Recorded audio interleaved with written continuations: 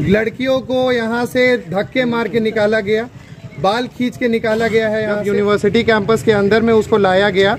तब पुलिस को यहाँ पे तो उसके पहले ही सारे पुलिस अथॉरिटी आ चुके थे। गोलियाँ चल चुकी थी।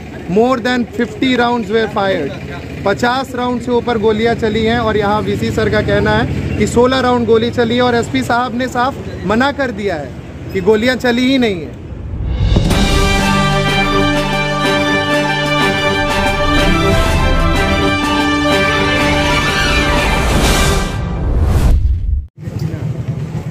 जिस समय इक्कीस इक्कीस की रात को जब उसकी मौत के बारे में हम लोगों को पता चला, उसके बाद यहाँ एंबुलेंस ने लाने से उसको मना कर दिया। यहाँ पे वीसी सर का ऑर्डर से या फिर सिक्योरिटी के ऑर्डर से ये आया कि आपको एंबुलेंस को यूनिवर्सिटी कैंपस के अंदर में नहीं लेके आना है। जब हम लोगों को ये पता चला कि यूनिवर्सिटी के कैंपस के अंदर नहीं लेके आना है तो हम लोग वीसी सर से बात करने के लिए 10 से 15 छात्र वहाँ उनके दरवाजे पे गए।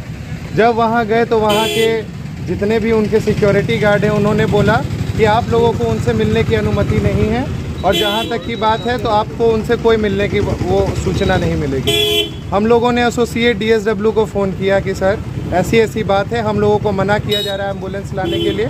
लेकिन एंबुलेंस के बारे में उन्होंने बोला कि आप लोग यहाँ पे, हम लोगों को इसके बारे में कोई सूचना नहीं है, ये गलत बात है।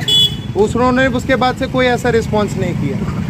वहाँ से उसके बाद जब हमने उनके पिताजी को फ़ोन किया लेट अखिल साहू के पापा को, तब हमें पता चला कि ना उन्होंने पुलिस को बताया, ना उन्होंने, ना कॉलेज के किसी ने उनके पिताजी को बताया, ना पुलिस ने उनको इन्फॉर्म किया। तो इस वजह से उन्होंने बोला, उन्होंने हम लोगों को बोला कि उन, उसकी बॉडी को आप लोग तब तक सुरक्षित रखिए, जब तक हम लोग वहाँ नहीं आते हैं। तो उसके बाद उसी समय उन लोगों के पेरेंट्स वहाँ से निकल गए। वहाँ से आगे जब बढ़े लोग, तब फिर पता चला कि यहाँ पे जब यूनिवर्सिटी कैंपस के अंदर में उसको लाया गया, तब पुलिस को यहाँ पे तो उसके पहले ही सारे पुलिस अथॉरिटी आ चुके थे। गोलियाँ चल चुकी थी। More than 50 rounds were fired 50 round से ऊपर गोलियाँ चली हैं और यहाँ वीसी सर का कहना है कि 16 राउंड गोली चली है और एसपी साहब ने साफ़ मना कर दिया है कि गोलियाँ चली ही नहीं है। यहाँ पे गलती किसकी हमने गलती किसकी माने? यहाँ यूनिवर्सिटी अस्पताल की गलती कि यहाँ पे अथॉरिटी की गलती। हम लोग ये चीज़ के लिए यहाँ, हम लोग यहाँ पढ़ने आए हैं। यहाँ पे रात में 12 बजे, एक 12 से 1 बजे के बीच में एक व्हाट्सएप पे मैसेज गिरा और कि ऑफ़िस ऑर्डर आया है by the order of registrar कि आप आइए। आप लोगों को सुबह कल 12 बजे यहाँ से निकलने का ऑर्डर दिया जाता है।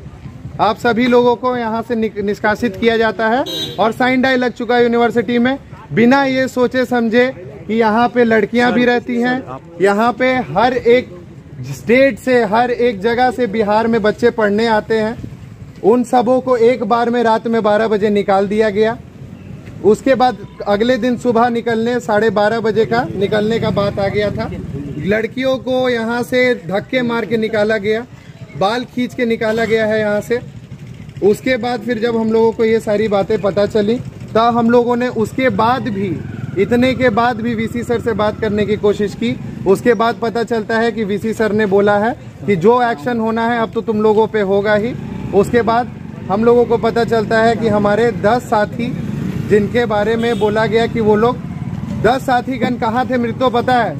दस साथीगण जिनमें है, उनमें से ज़्यादातर अस्पताल में थे। अस्पताल लेके गए थे उसको।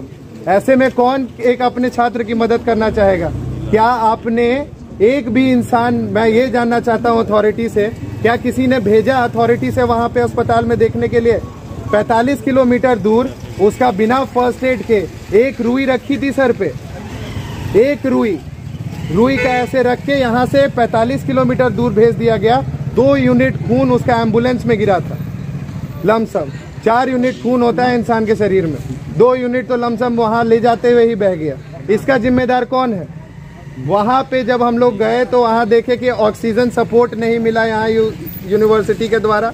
मास्क नहीं था ऑक्सीजन मास्क जिससे उसको ले जाया जा सकता था। हम लोग करें तो क्या करें? और उसके बाद यहाँ पे आता है ऑर्डर कि 10 बच्चों पे एफ़ आई आर आठ धाराएँ लगी हैं। आठ की नौ धाराएँ। बच्चों पे 307 तेरह धारा लगा है। तेरह धारा बच्चों पे लगी है 307 के साथ। अब उन बच्चों का क्या होगा फ्यूचर का? हमारे माननीय रजिस्ट्रार सर का ये कहना है लोकल न्यूज़ में उन्होंने ये कहा है कि एक सेमेस्टर बच्चे लेट हो सकते हैं। ऑलरेडी हम लोग ट्राइमेस्टर पे चल रहे हैं। हम लोगों का डिपार्टमेंट ट्राइमेस्टर पे चल रहा है। छः महीने की पढ़ाई तीन महीने में ख़त्म हो रही है और अभी भी वो सेमेस्टर बंद हो जाएगा तो हम लोग कहाँ जाएँगे? हम लोगों के फ्यूचर के साथ आज हमारे पास हमसे वही चीज़ छीना जा रहा है दोस्तों जो कि हमारे पास है और उनके पास नहीं है। हमारा समय। हमारा समय हमसे छीना जा रहा है और ये एक स्टूडेंट के लाइफ में सबसे बुरा काम हो सकता है, जो कि वीसी ने हम लोगों को रिवॉर्ड दिया है। इसको नहीं होने देंगे। बस मेरा इतना कहना है कि अखिल साहू की लाश के साथ जो मज़ाक हुआ है, उस मज़ाक का जवाब कौन देगा? उस मज़ाक का जवाब हमें चाहिए। बस मैं इतना ही कहना चाहूँगा। बहुत बहुत धन्यवाद।